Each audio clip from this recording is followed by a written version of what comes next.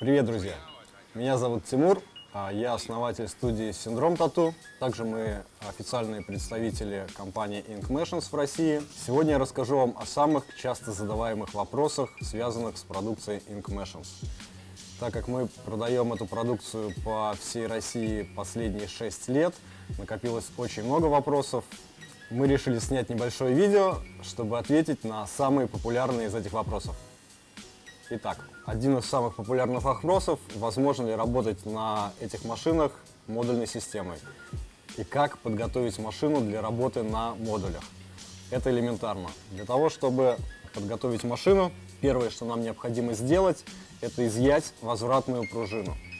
Она находится с правой стороны под э, пластиковой заглушкой. Для того, чтобы ее изъять, нам необходим ключ 1,3 мм. Этот ключ не идет в комплект к машине. Его нужно приобретать либо отдельный где-то искать, либо покупать фирменный набор всех усиленных ключей. Соответственно, берем ключ, выкручиваем винт, вынимаем заглушку и с нижней части машины выскакивает тонкая возвратная пружина. Удаляем ее для чего это нужно? Чтобы убрать двойное сопротивление, так как в модуле есть свой возвратный механизм, и возвратный механизм в машине становится излишним. Мы убрали возвратную пружину, тем самым машина перестала возвращаться. Второй момент, который желательно сделать, это заменить пружину под колпачком регулировки жесткости. Для этого нам нужно сдернуть колпачок, выкрутить фиксатор – под ним будет стандартная пружина. Эту пружину мы меняем на более жесткую пружину для картриджей, маркировка 79. Соответственно, устанавливаем 79-ю более жесткую пружину на место базовой. Вставляем колпачок до щелчка. Теперь машина полностью готова для работы на картриджной системе. Мы работаем на модулях C-Tech, но в принципе можно использовать любые, кому какие больше нравятся. Сейчас я, собственно, продемонстрирую, как это должно работать.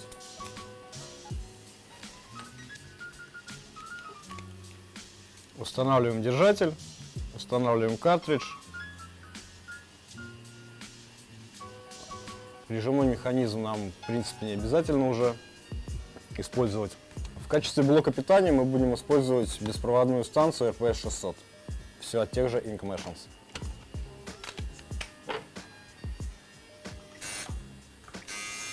Ну и, соответственно, пожалуйста, машина работает прекрасно с любыми видов картриджей.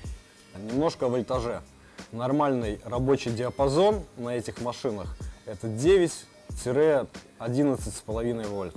Это нормальный рабочий диапазон, в котором двигатель машины будет служить долго. Любая из этих машин периодически требует небольшого ТО, так как в каждой из машин есть элементы, которые со временем изнашиваются. Сейчас немножко расскажу об этом.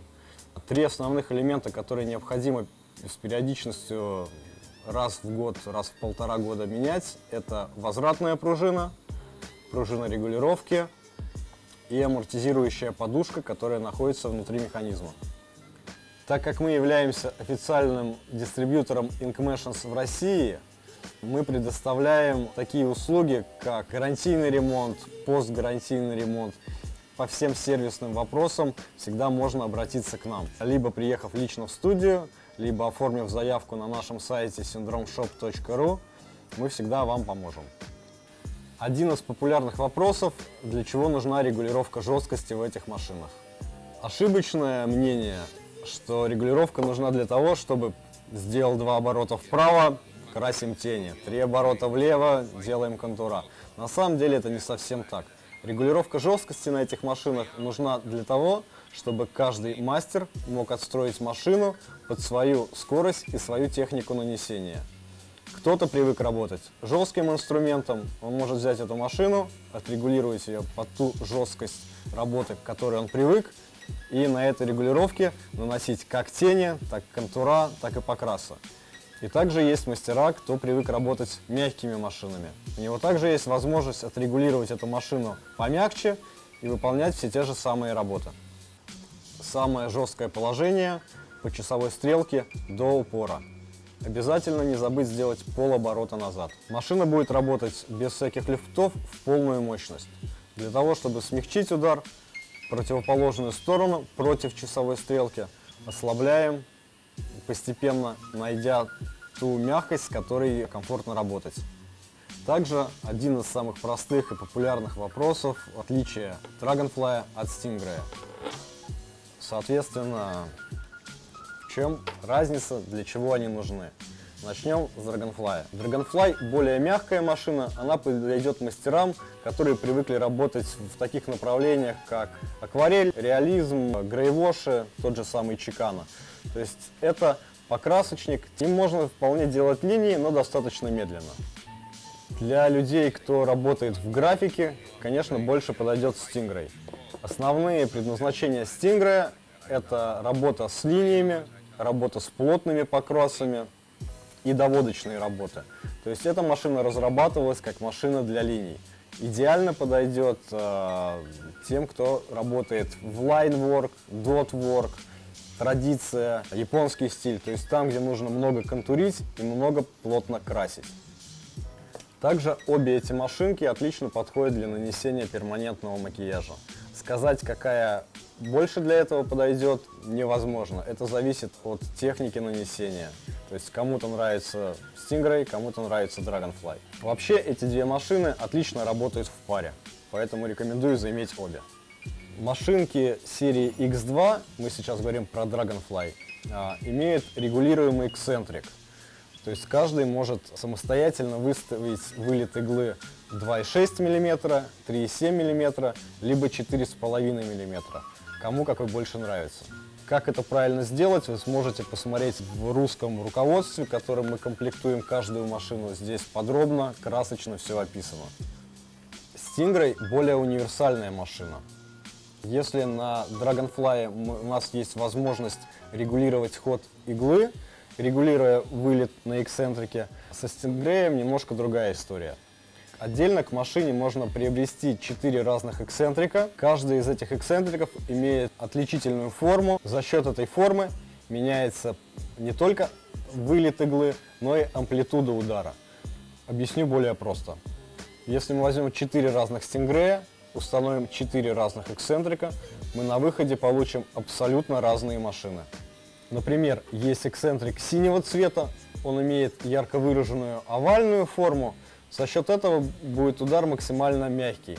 То есть эта машина станет больше покрасочной, нежели контурной. Есть эксцентрик зеленого цвета 3 мм. Он имеет ярко выраженную форму капли. За счет каплевидной формы удар будет максимально резкий. Установив этот эксцентрик на стинг, мы получим идеальную контурную машину. Но при этом работать с какими-то тенями станет намного сложнее.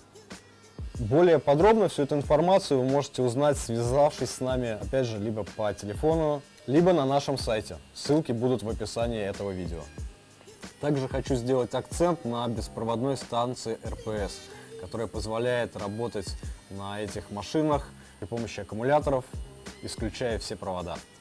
Это очень комфортная система для тех, кто любит максимально комфортно работать.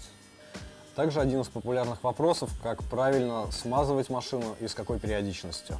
Так как одна из самых популярных поломок – это залитые двигатели маслом. Поэтому смазывать машину рекомендую при ежедневной плотной работе не чаще, чем один раз в пару месяцев. Открываем масленку а, и, соответственно, 4 прорези по капле в каждую. И одну каплю в ходовую часть под боек. Этой смазки вполне достаточно.